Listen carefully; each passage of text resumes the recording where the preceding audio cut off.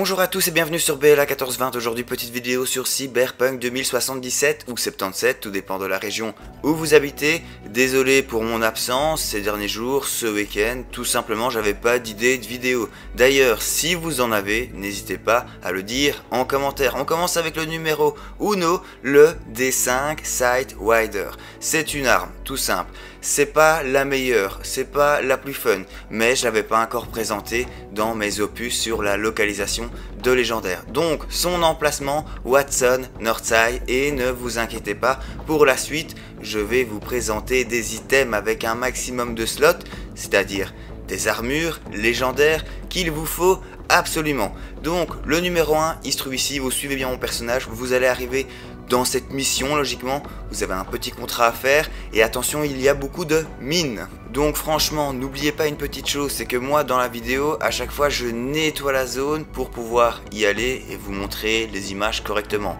Mais vous, quand vous arrivez dans cet immeuble, faites bien attention à une chose, c'est de ne pas courir partout. Si vous n'avez pas fait le contrat, quand vous arrivez dans cette pièce, faites aussi bien gaffe. Je spoil pas, mais je vous le dis. Le numéro 1, il se trouve donc ici, c'est le premier légendaire. On passe au numéro 2, la fameuse couronne de déesse, attention, avec un nom imprononçable. Et le numéro 3, le jeans recyclé et filoché qui déchire tout, niveau style bien sûr, parce que entre guillemets, crochet parenthèse, toutes les armures se valent un peu en fonction des modes que vous allez mettre dessus. Et d'ailleurs, c'est à partir de maintenant que je vais aussi expliquer une autre chose très importante pendant que je vous montre l'endroit de localisation.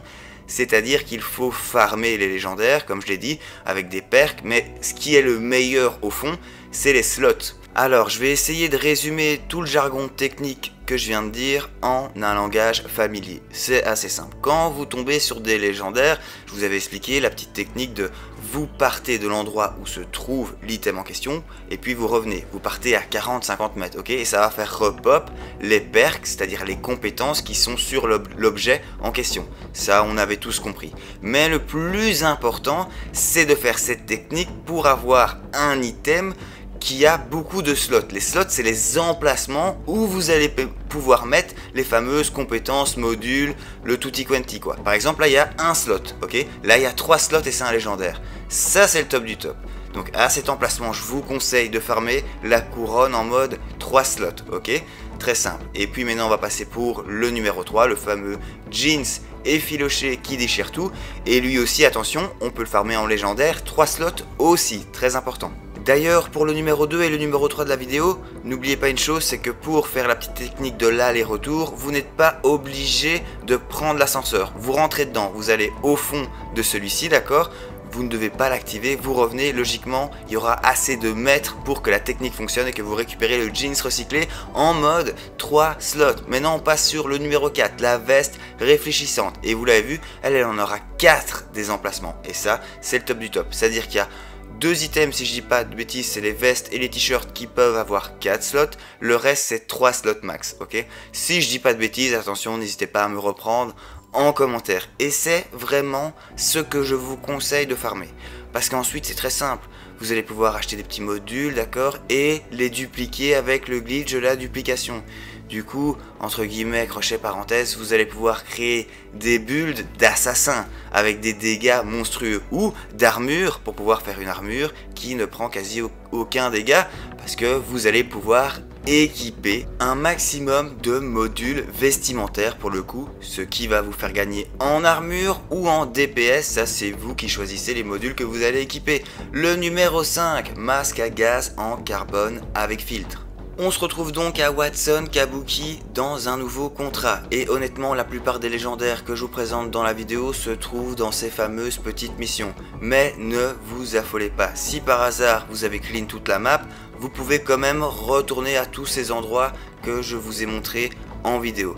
C'est possible que de temps en temps, il y ait un petit bug et que les portes soient fermées, ça arrive. Mais pour la plupart des emplacements, il n'y aura pas de bug et vous allez pouvoir récupérer les items même si vous avez déjà fait les fameuses missions de contrat. Ok? Ce que je vous conseille à faire surtout, c'est que quand vous faites ces petites quêtes annexes, de bien fouiller un peu partout. Si vous trouvez un item épique dans une boîte, directement vous pouvez le farmer pour qu'il passe en légendaire et puis le farmer, le farmer, le farmer pour avoir un maximum de slots. Je me répète, mais logiquement, c'est les vêtements du centre, c'est-à-dire t-shirt et veste, ils ont 4 slots. Ce qui est sur la tête, c'est-à-dire les petites lunettes, le bandana, c'est 3 slots. Et idem pour le pantalon et les chaussures, c'est 3 slots aussi. D'accord? Ici, on va tomber sur un masque à gaz. Mais attention, ce n'est pas celui-ci qui nous intéresse. On va aller sur un doublon, mais c'est bien sûr celui-là qui se trouve dans un coffre, ok? Masque à gaz en carbone avec filtre. Vous faites des allers-retours, des allers-retours, des allers-retours, et bim, 3 slots, 3 emplacements, c'est bon, vous pouvez le collecter. On arrive donc au numéro 6, NUE.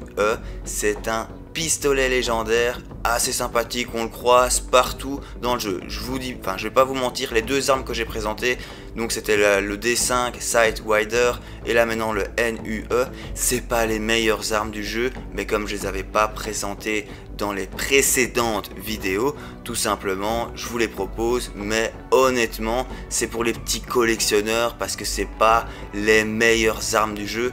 Le gun par exemple que j'ai en main, lui est complètement mortel et fait des dégâts monstrueux, il tire à travers les murs, en tout cas c'est une vraie dinguerie. Je vous ferai peut-être bientôt un petit top 5 de mes armes préférées.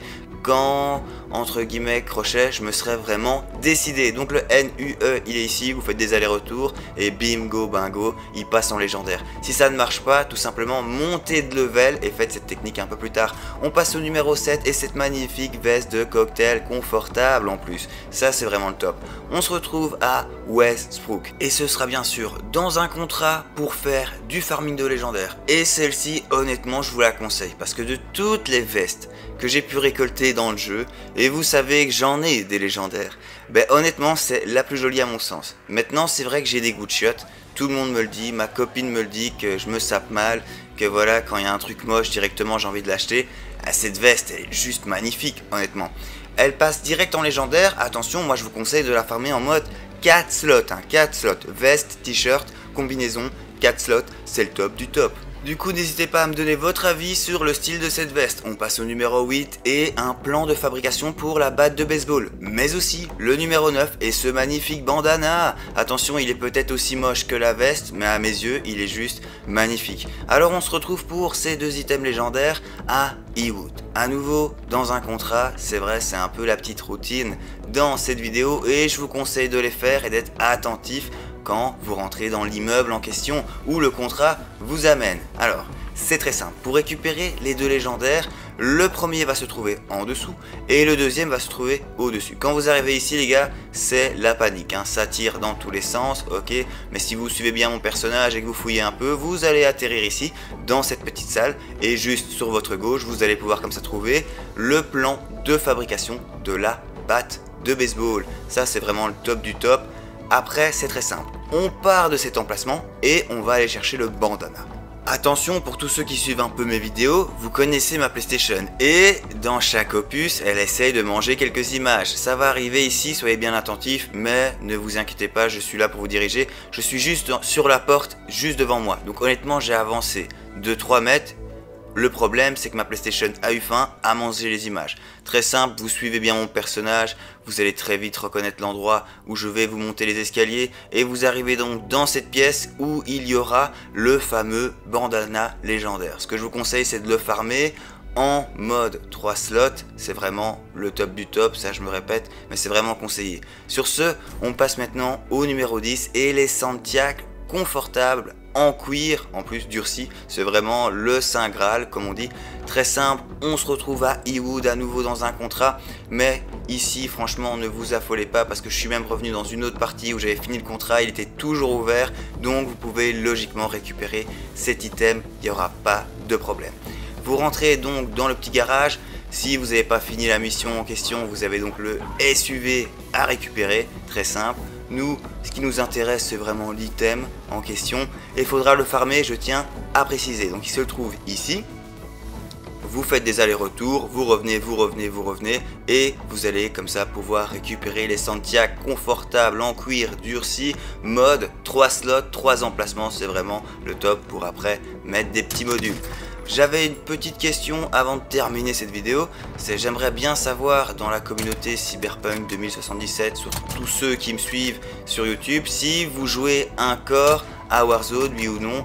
J'hésitais à reprendre les vidéos, mais la méta en question pour le moment, avec les Akibo et le DMR, m'ennuyait un peu. Donc voilà, j'aimerais votre avis sur ce jeu. Merci à tous ceux qui sont restés jusqu'à la fin, merci à ceux qui like, qui commentent, qui s'abonnent, merci à la communauté, et bon jeu.